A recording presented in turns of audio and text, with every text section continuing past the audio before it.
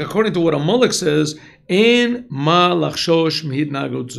Don't have to worry. This is the way you should act. Be logical, be intellectual. Don't be crazy. What is the Torah? The Torah is intellect. Hakdamas nasav nishma. If you say I'm going to, if you say I will understand, and only what I understand will I do, this will not harm you're doing in the commandments because you will do everything logically. Pretty good, huh? That's pretty good. And you should know that that's what a lot of religious, ultra religious Jews think. That's classically the idea of the Misnagid, the Litvish Jew. I don't even know if it exists anymore, but that was classically the idea that they only did what they understood. What they understood, they would do. Right? If you understood, I do. You do the commandments. You go. You get heaven. Go to Olam Haba. Right? You learn the Torah. you get a reward. You get everything has to have some logic to it and reason to it. So if And they then- understand the mitzvah, they wouldn't do the mitzvah.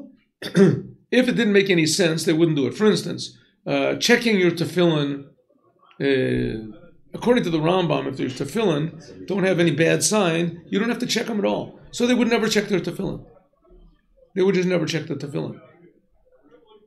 And it was a bad, until the Rebbe came along with the thing of tefillin and made everybody crazy about tefillin, checking your tefillin once every seven years, once every two years, once every year. Right? According to the letter of the law, you don't have to do it. But people started checking their tefillin and find discovering that their tefillin were really pasul, and they were putting on not kosher tefillin, and they were But, but like a, a, a Torah mitzvah, like a, uh,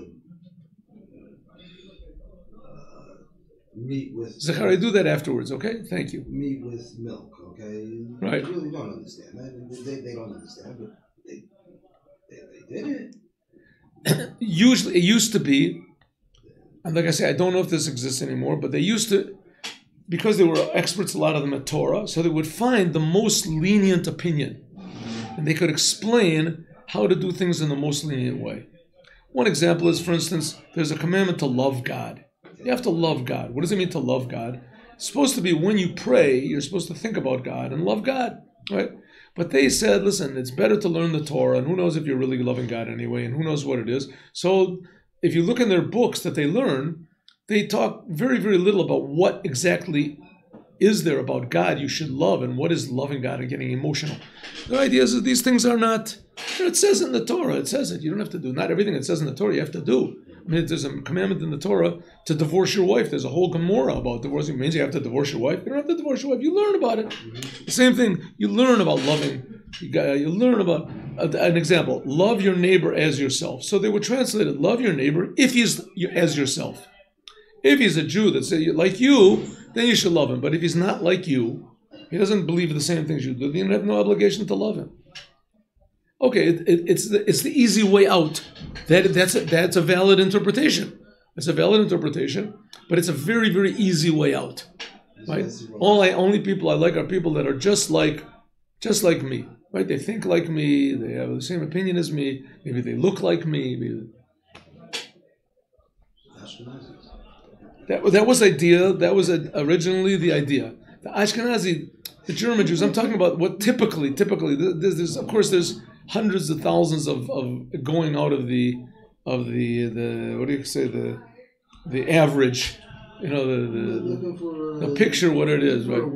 But usually the Ashkenazic Jews, the, the German Jews, they weren't like that. The Yeki Jews, they weren't like that. The Yeki Jews, they did everything, you know, what they were supposed to do. They were supposed to do. You're supposed to love God, so they had thoughts they would think, you know, about God creating the world and everything. There was Simson Royal, Forel Hirsch. They had their great rabbis that also brought them to a certain type of love of God. But it wasn't crazy. That's the thing. It wasn't crazy. It wasn't excitement. Excitement was out, right? Being excited. You were excited maybe at, at Purim a little bit. uh,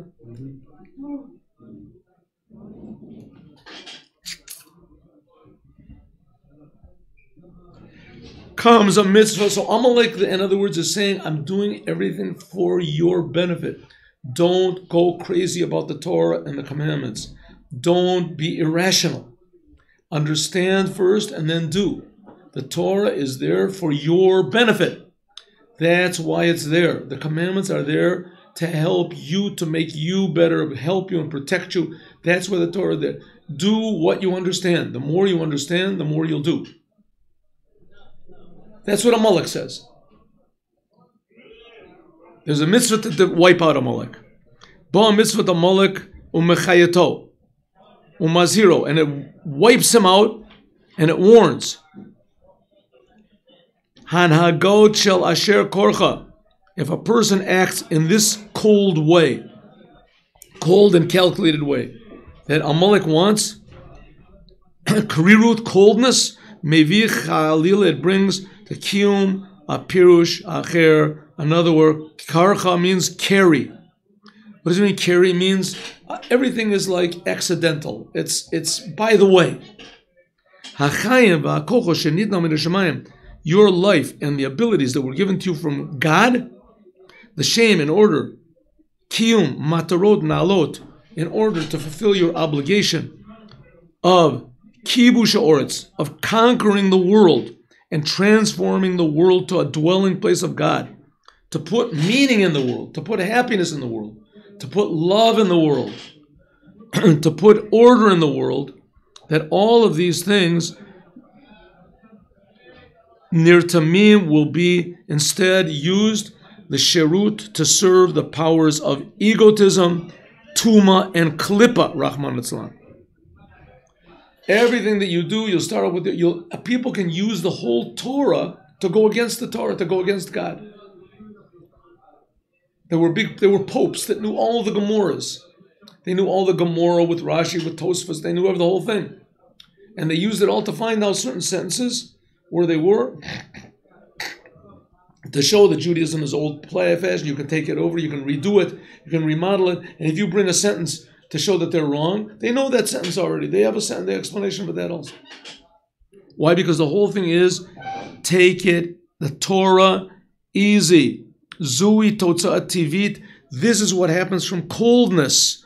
Mishu mit yamir liot yodei atzayid. Like uh, uh, Esav, he claims to be a hunter. Hofech, in the end, he means Isadeh. He ends up to be a field man. Boreach me'olei Torah. He runs out from the Torah and Torah Shebechtav and Torah Shebal Peh. Chova litnaheg, our obligation. Think, just think of it. If the Jews would have gone logically, they would have never left Egypt. They would have never gone and get the Torah. Why should they leave Egypt? God, dis- God destroyed all of Egypt. He destroyed all the Egyptians. Destroy them, especially after he drowned the army at Yam Suf. The Jews should have said, "Okay, let's go back to Egypt." Well, now we're, then nobody's against us. You know what? Let's go back to Egypt and make them into slaves. And then we'll show them. That's logical. God says, no, no, no, leave Egypt, go into the desert. What the heck? Why? No. What do we have to go into the desert for? What, I don't understand. What's the point? We're so close to Egypt. We work so hard. At least let us get some pleasure out of it, right?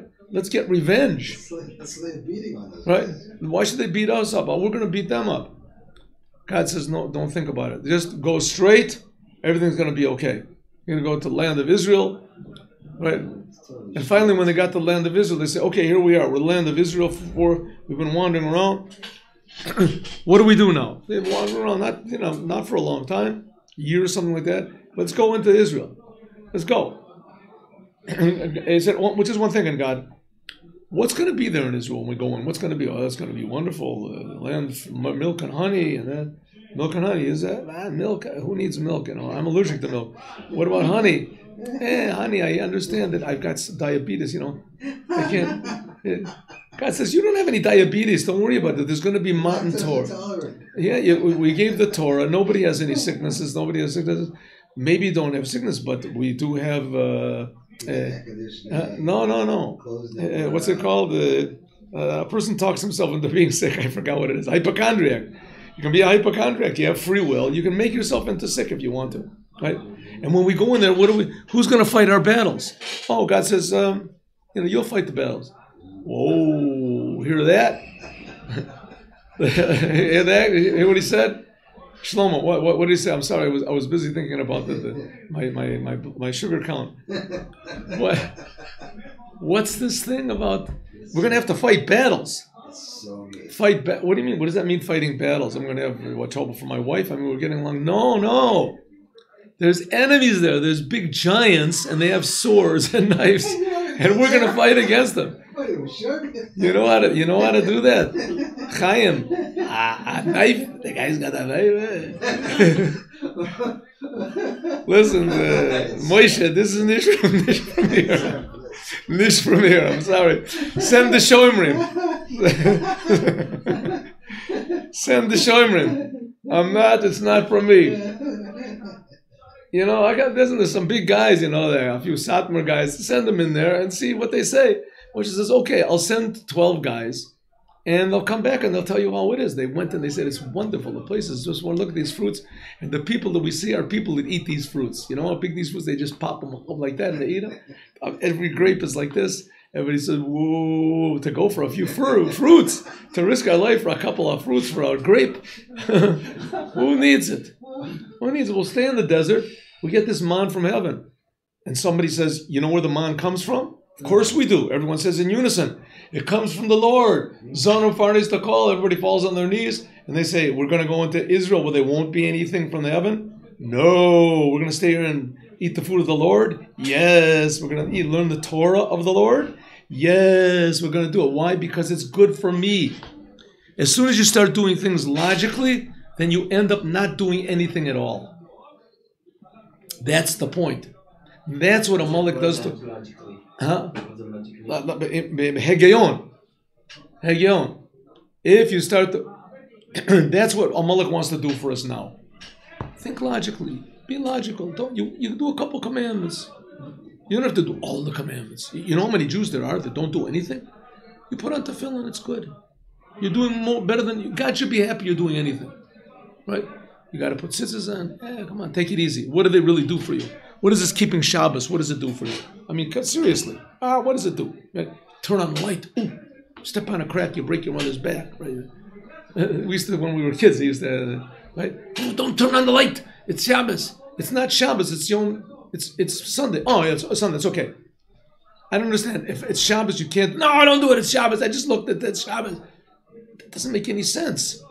If you start to go after your sense, then you're never going to do what God wants. And even more, if God went according to His sense, He would never have even created us. What's He creating us for? What's He make everybody with all these a digestive system and a circulatory system? That doesn't make any sense. Why everybody has to have a, a- a reproductive system? What do you have to have it for? Right? Just make people and make more people. Eh, It's such a big deal. God made one man. You can make 20 men, you can make a thousand men. You have to have reproductive systems and you have to have digestive systems. What do you have to have all these things for? It's more interesting. Right. So the answer to that is, is that there's things that we cannot understand. And one of those things is the essence of the Torah. You can't understand it. But there is a commandment to try to understand as much as possible. Somebody once told me, he said, ah, you religious people, you don't have any questions. Eh, everything by you is okay. So all of a sudden I got this thing. I said, that's exactly the opposite. We religious people, we have more questions than you do, but our connection to God doesn't depend on the answers. יש לנו יותר שאלות ממך, אבל האמונה שלי לא תלוי בתשובות. It doesn't depend on the answers. I don't get an answer. I don't get an answer. Okay. Right? Things don't make sense. Don't make sense. Holocaust makes sense. Doesn't make sense. It's against sense. Against sense. Right? The Rebbe, for instance, was very, very opposed to those people who explained the Holocaust was because of the non-religious people. The Holocaust was because of because right? the Holocaust was because the Germans were evil people. Don't try to take it away from them, right? Because the Jews were like this, and because the Zionists, because this, the Jews, the Germans were evil, just murderers, and they deserve every punishment that they can get, right? The the the, the punishment, and that there's why did God allow them to do a thing like that? I don't know. We can't understand. True, it says in the Torah that if the Jews don't do what God says, God is going to punish them. But you know, a father threatens his son. So you do that, I'll kill you. I'll it. Means that he, he says, officer, I told him I was going to kill him. I, I told him that if he messed up his, his, he didn't eat all his food, I told him I was going to kill him. So, right, I'm, I'm innocent. judge, uh, right? I told my wife if she burns the food one time, I said I'm going to kill you all. That, that, gives him permission to do it. Of course not. If he loved, God loves the Jews. He would never do a thing like that. A father doesn't trait that to his children, no matter what he does. Explain it? Can't explain it. So what? You're going to come to a logical explanation? You can't. So why did we get the Torah? Because God wants. Why do we do the commandments? Because God wants. That's the thing right now. Is we have to realize that when we do the commandments, we have to be excited because we're doing what the, our Creator that's creating us right now, what He wants. That we should be excited. But Amalek comes along and says, "It's a nice idea to be excited, but not for you. You're a normal person. Maybe for children, for you know, for crazy people, Breslov, uh, they're gonna be crazy, but not for you, right? Not for you. There's some Chabad." Uh, take it easy. Says the Rebbe, that is bad advice. That is bad advice. Everybody has to be excited in a different way. Breslov, they're excited in their way. Chabad is excited in their way. The Litvish are excited in their way. The Yekis are excited in their way, but you've got to be excited about the Torah. The Torah is above understanding and it is infinitely good, greater than any possible way we can understand. And even though sometimes we don't benefit from it physically, right? We don't see the benefits from it. And sometimes it's exactly the opposite, like in the time of Purim. Because the Jews acted Jewish, they were under the threat of death. Right? If they would just say we're not Jewish, there wouldn't have been any threat. But nevertheless, Jews did it. Right? That's the essence of what a Jew is. Chova litnaeg bedarko shel Yaakov. We must act in the way of Yaakov a the simple, wholesome person. Derech tamimos. This is derech yeshara. This is the straight way. Shalel, like it says, tomat yeshorim tamchen. The simplicity of the simple, straight people, the honest people, that will support them. Kefi shenidrash b'gamor, like it says in the Gemara, va'al choshvim lagdim et nishma. Those people that say we should understand first and then we should do, and they were op, they oppose getting excited. We say salav bogdim tashdim. It says the falseness of the how do you say the perfidious people, the unfaithful whatever people, tashdim will destroy, will be their destruction. Okay, so that is the first war against Amalek. It tried to stop the Jews from getting the Torah. What does it mean? Don't be excited about the Torah. If God wants to give you the Torah, He'll come to you. Don't be so excited. And for sure, don't agree to say you're going to do all the commandments before you see what they are. Don't say, Na'aseh, we will do whatever you say, and Nishma. You ever heard that idea, Na'aseh and Nishma? The Jews before the Torah, they said, Na'aseh, we will do whatever you say, Na'aseh. We will do whatever you say, God, the Nishma, and then we'll understand it. That's what the Jews said. Whatever you tell us to do, we'll do it. And afterwards, we'll understand. And if we don't understand, we'll still do it. Right? Now that says the Rebbe is not a very wise way to do things. Says the Rebbe exactly the opposite. That is true Judaism. Of course, you have to try to understand afterwards. You have to use your mind to understand. You shouldn't just say, I'm just going to do it cold. No. With the understanding comes even more love, more excitement, more connection, more intimacy with the Creator. But the main thing is to do. That's the main thing. Do. Don't say I'll understand first. I'll learn the books of Kabbalah. I'll understand because you'll never end up doing it. You'll never do it. I remember once I was putting tefillin on people in the marketplace where I go put it on, the, on Friday, and some fellow came up to me and he looked, he looked like a criminal. He looked like one of these Israeli street criminals. You know, not like a a polished, you know, mafia criminal. A street criminal. He had sort of like a, a stubble beard he was a muscular guy. He had a couple of tattoos on. He had this mean sort of a look on his face. He was a short guy. And I said, come put on tefillin. He said, oh, okay. Put on, I said, okay. A Sephardic guy, probably. Put on tefillin. So I said, which hand do you put on tefillin on? So he said, uh, I put on this hand. I said, well, which hand do you write with? He said, I'm a left-hander. I write. So I said, well, you have to put your tefillin on the right arm. He said, no, no, no. No, no, no. You put the tefillin on the left arm because the left arm is gevura, and you have to sweeten the gevura with the four aspects of intelligence that are found in the tefillin. I said, where'd you learn? He said, well, you're right, it's true. What you say is true. But nevertheless, you have to put the tefillin on the opposite arm that you're right with. So no, no, no, no, no, no, no. You have to put the tefillin always on the left arm. The left arm is severity. All bad things, negative things come from the left. We're fixing it up by putting on the tefillin, which the tefillin are the arbe mochin of Abba be'ima. I said, yes, he said. So I said, so I said to him, listen. I'm, I said, listen. I, I know what you're talking about. I understand what you're saying, but you have to believe me. I'm not standing here in the street to make people do sins.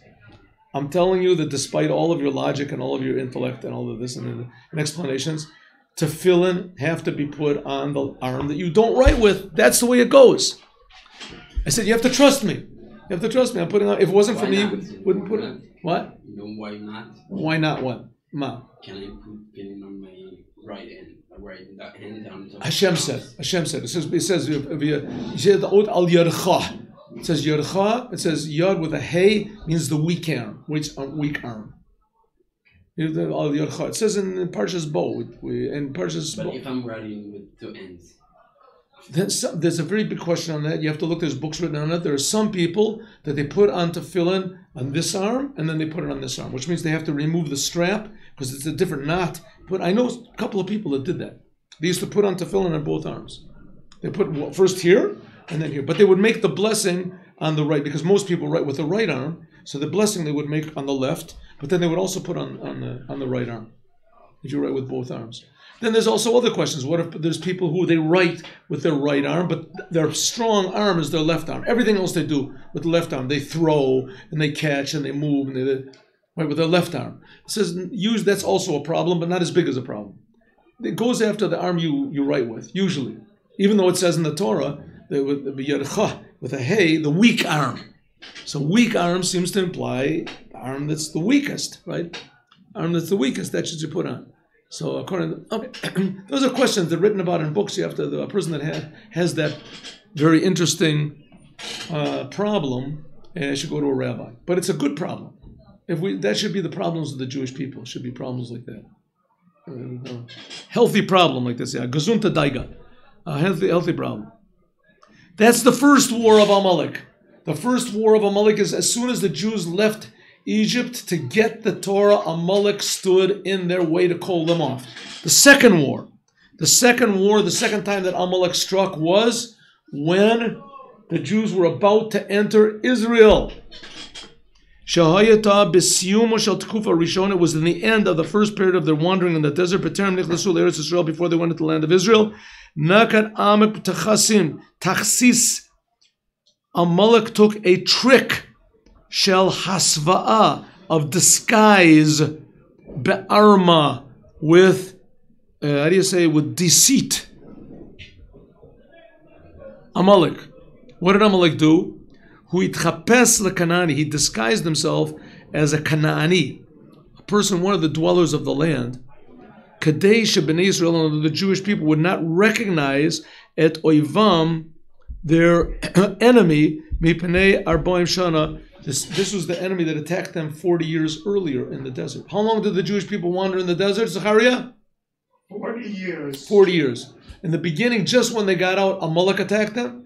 And at the end, also just before they went into the land of Israel, again they were attacked by Amalek. But doesn't this connect the book of Yosua? Because in the book of Yosua, You said, you said that before. You said that before. Go, let's go.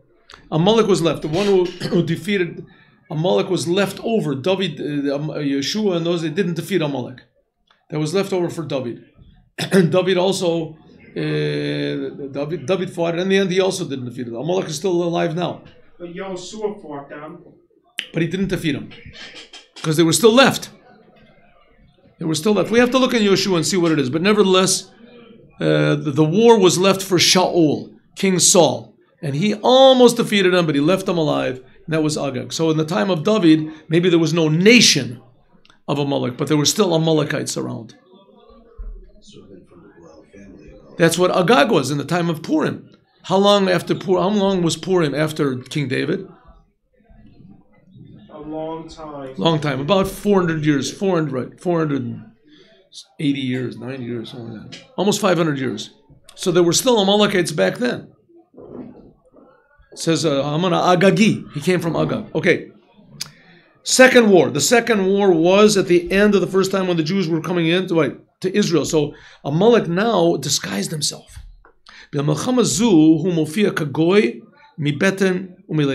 Now he appears not as the son of Abraham and Isaac. No, he appears as a non-Jew. He concealed his origin for his, origin from being uh, the seed of Abraham and Yitzchak. Now Amalek, and now we're talking about, you'll see, it's talking about now in the time right before Mashiach. Amalek also attacks us, but not about Torah mitzvahs.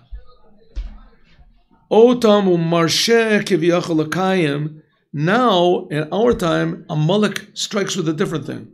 He says, do Torah, do mitzvahs but who doresh achad, only one thing, et tipel in gashmiyim.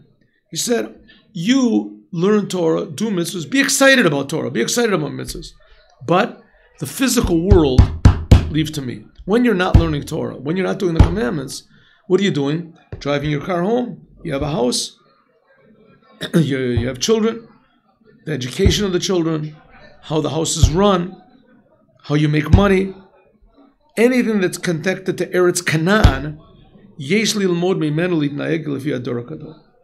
You have to learn. Nowadays, a Amalek doesn't come and say, "Don't do Torah, don't accept the Torah." He says, "Do the Torah. That's a Jewish thing. Do the mitzvahs." But when you're not doing Torah and you're not doing mitzvahs, then I'm the boss. Then I'm the boss. You have to be normal. You have to be normal. Like they were said, Yehudi bebeitecha v'adam betzeitecha.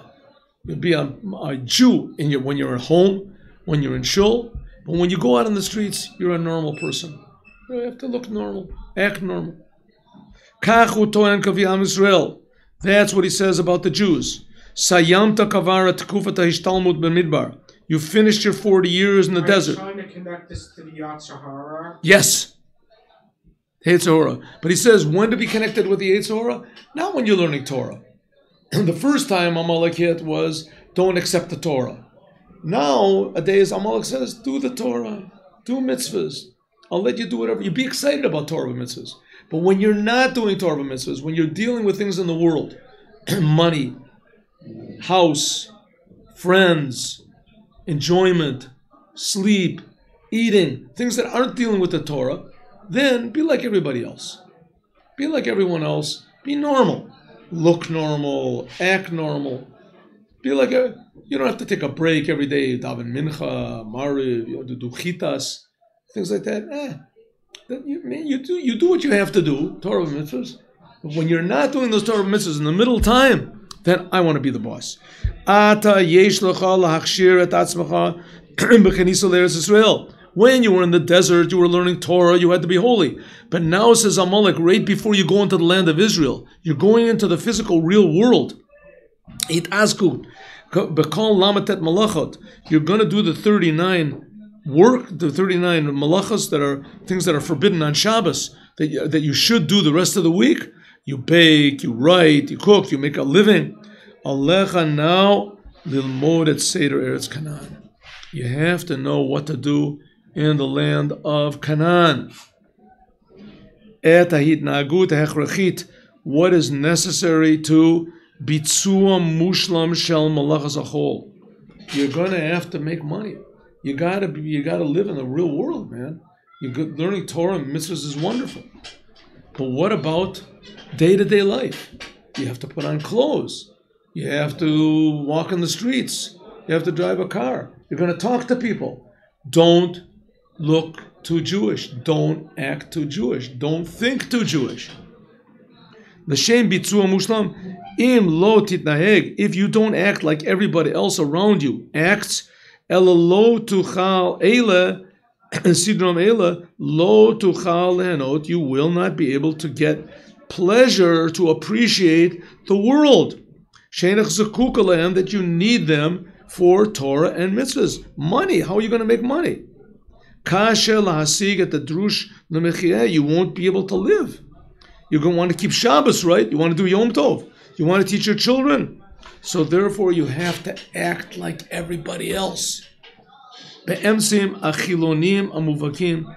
Act in the normal way like everybody else acts. Don't be too religious all the time. The Midrash says, Vayeshev mimenu shevi, Vayesh mimenu shevi. It says over there that Amalek attacked the Jews and they took a prisoner. It says, what is the prisoner? It doesn't say they took prisoners. So they took a prisoner. Who was the prisoner they took? Omer Shakanani Melech Arad Lakach Beshevi Mibnei Israel Rak Shifra Kanani Tachat. He took only one maidservant, and it wasn't even a Jewish maidservant. It was a non-Jewish maidservant. Was a non-Jewish maidservant. Just one second. Let me answer my son. Oh, it's time to stop anyway. One second. Hello.